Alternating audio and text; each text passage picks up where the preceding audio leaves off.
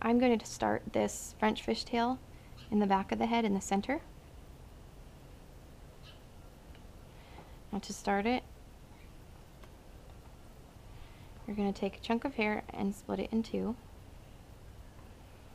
And now you're going to take a small piece of hair from the left side and add it to the right. And you're going to take a small piece of hair from the right side and add it to the left. And the next step, you're going to take a small piece from the outside of the hair that you're holding in your left hand and you're going to add it to the right. And then you're going to go through and you're going to take a slice of hair from the left and add it to the right. And you alternate doing it from the left and the right. So a small piece of hair from the right section and then a slice of hair from the right and add it to your left hand.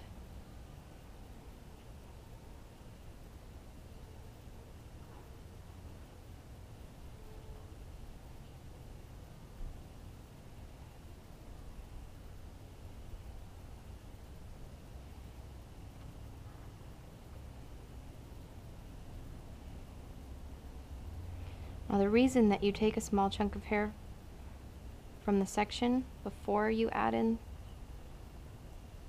is because if you don't, the braid starts slipping. It doesn't stay in place.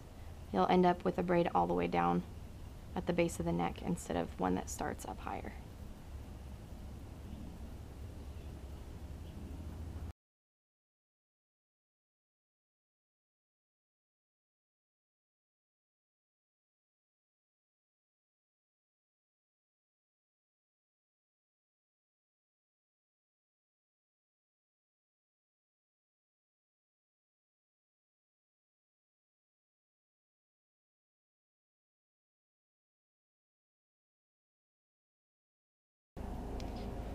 And one of the other tricks to a French fishtail braid is to keep your head, your hand, excuse me, up against the head with the hand that you're holding the hair with.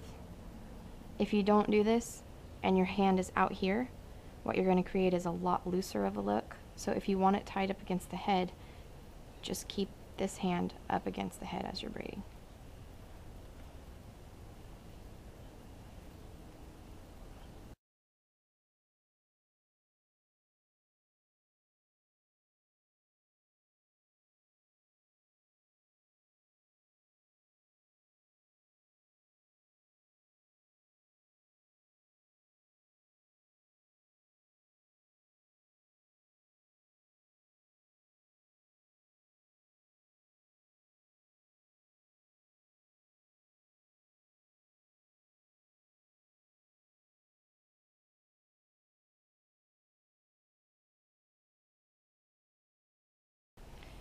So once you've run out of hair, you're just going to stop adding hair and you're just going to do a normal fishtail braid the rest of the way down.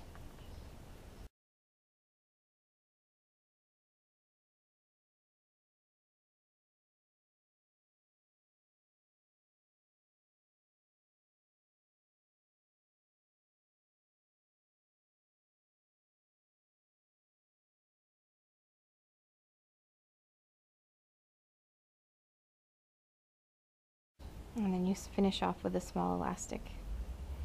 And there is your French fishtail.